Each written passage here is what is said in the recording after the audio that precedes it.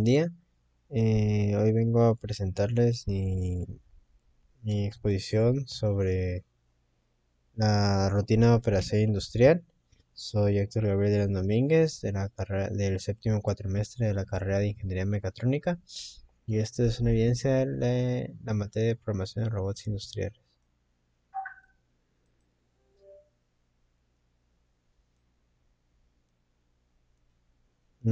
Primero empezamos por qué es una rutina de operación industrial.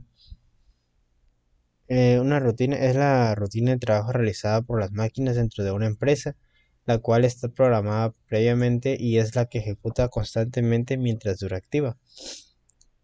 Está la en sí eh, una rutina operacional, de rutina de operación industrial es el cómo es el cómo funcionan con qué procesos, qué pasos deben de seguir los, las máquinas, robots, este, todo lo que se usa en la industria para seguir el proceso de manufactura o, el proceso que se lleva a cabo dependiendo de, la industria.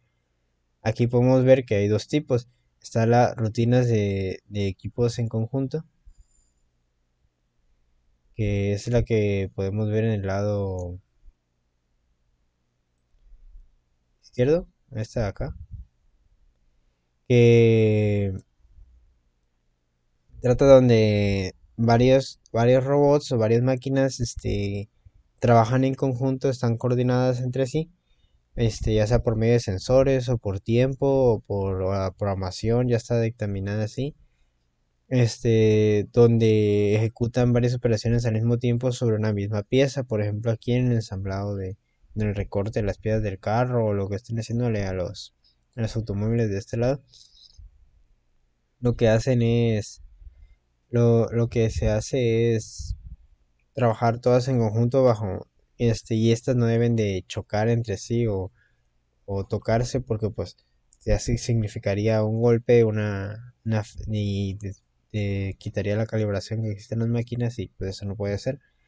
Este, y aparte de las rutinas individuales, que, podemos, que puede ser como se muestra aquí en la imagen de la derecha, donde nada más un solo robot está, trabajando, le llega su carga, lo que tenga que cargar, levantar o lo que tenga que hacer, lo mueve de, lo mueve de acuerdo o lo clasifica de acuerdo a como está programado, este, pero únicamente trabaja solo, no necesita de no necesita de tener una coordinación especial con algún otro para de una vinculación para saber dónde está el otro para poder para poder ejecutarse, puede trabajar más libremente.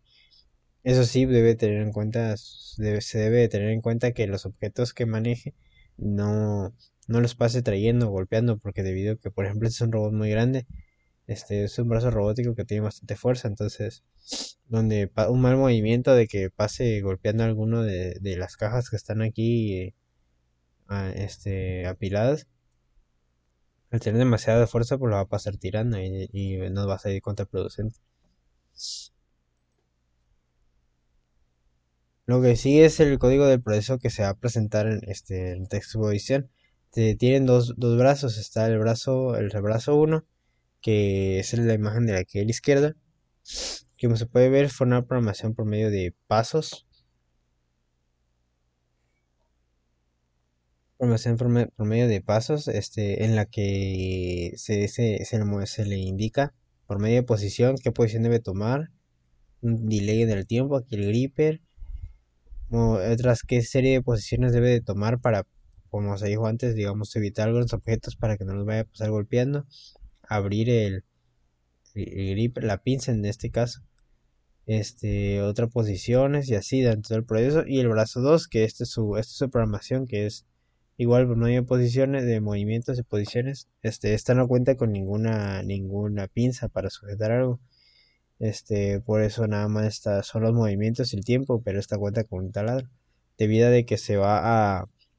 Lo que se va a mostrar va a ser como un brazo robótico mueve la pieza que llega desde una banda transportadora, la mueve a una mesa de trabajo donde otro brazo este, lo que hace es taladrarle cinco puntos para posteriormente ponerlo en otra mesa y apilarlos este para para que posteriormente alguna otra dentro del proceso llegue alguien o algo y los mueva de lugar o otro brazo igual los levante pero ya en grupo Este, los, los robots que se van a, que se van a usar, estos son los robots industriales, son los, los KUKA KR16, que como se puede apreciar aquí son sus datos técnicos. Este es su alcance máximo de 1.611 milímetros este, que sería 1611 milímetros, que sería un metro, un metro y medio de alcance alrededor de a su alrededor. Estos son los movimientos que puede realizar. Este, estos son hasta donde alcanza. Eh, mil, como se dijo acá, un metro con, 611 centímetros. Con metro con 61 o sea, 1600 1611 milímetros. Este, su carga útil de 16 kilogramos. Este, tiene 6 ejes. Carga máxima 46 kilogramos. Tiene, como se dice, tiene 6 ejes, cada uno con su velocidad de, carga. Este, y estos son los datos técnicos que se que incluye con el robot que se va a emplear. Este, bueno, ahora pasaremos a la, a la demostración. Eh, de este, de este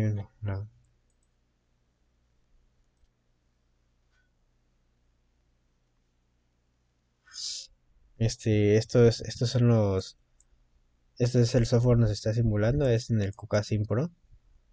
Este, este es el robot que es, este es el robot que lo pone en esta mesa de trabajo y aquí está otro que este, este otro robot este es el es el KR30L16F, que tiene, tiene más capacidad para carga de trabajo. Este, por eso es que se necesita más porque tiene un mini taladro aquí que es lo que lo va a perforar. Aquí es donde viene la banda, lo pone en esta mesa de trabajo y lo transporta a esta otra mesa. Ya la pieza una vez taladrada, como se va a mostrar en la continuación. Está donde llega. Lo puede en la mesa el robot de aquí se va a mover y le empieza a hacer los cinco orificios que, debe llevar. Este mismo robot lo vuelve a agarrar y lo pasa por acá. Lo vuelve a poner ahí, lo vuelve a, pasar como van llegando las piezas, lo vuelve a hacer las cinco perforaciones que, se requieren. Este vuelve a.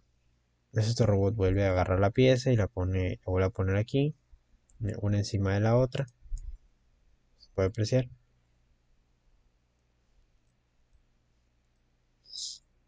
Y en sí este sería el proceso, nada más se hizo el, ejemplo con tres piezas, este, pero se supone que deberían seguir llegando y aquí apilarse una fila de aproximadamente 5 o 6.